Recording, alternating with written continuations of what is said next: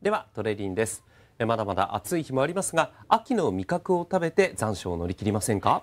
今日は秋の彩り満載ごちそうそばを紹介します。宮崎市のイオンモール宮崎の近くにあるそばどころ森の麻布。緑に囲まれた古民家風のお店です。店内はテーブル席やカウンターのほかに掘りごたつのある座敷やのれんで仕切られた個室もあります。今日はよろしくお願いします。よろしくお願いします。こちらが秋を感じる一番人気のメニューなんですね。はいそうです。季節の食材で前菜をお楽しみいただける森の麻布そばコースです。これはかなりボリュームがありますねはいお蕎麦といえば早く出てきてささっと食べるイメージがありますが特にこちらのコースではお料理と一緒にゆっくりとお蕎麦を味わっていただけます。最初に出てくるのは前菜の盛り合わせ。もう見た目が秋秋秋ですね。ちょっと細かく教えてもらっていいですか？はい。さつまいものレモン煮と大根でうさぎを見立てておりますごぼうですすきを見立ててて後ろにありますのがいちじくの生ハム巻きとなります。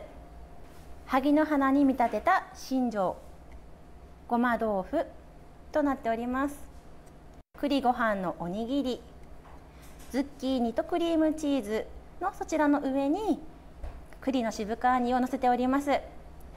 秋ナスの揚げ浸し鶏肉のジブにだし巻き卵。えこのちっちゃいのは赤とんぼですか？そうです。可愛いですよね。ですね。ともずくずです。渋皮煮との間にクリームチーズが乗ってます。美味しそうですね。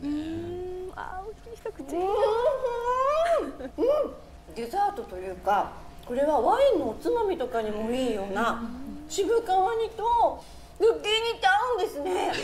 美味しいです。次に出てくるのが天ぷら。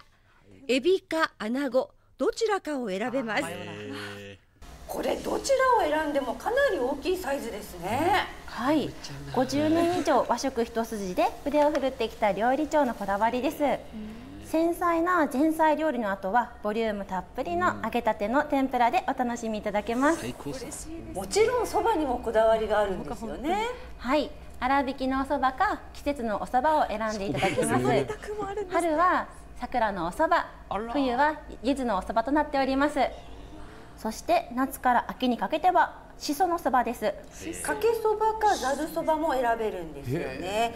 まだまだ暑いのでしそのお蕎麦をざるでいただきます。いいですね。やっぱりちょっと緑っぽいですね。はい。色がついてますね。い。ただきます。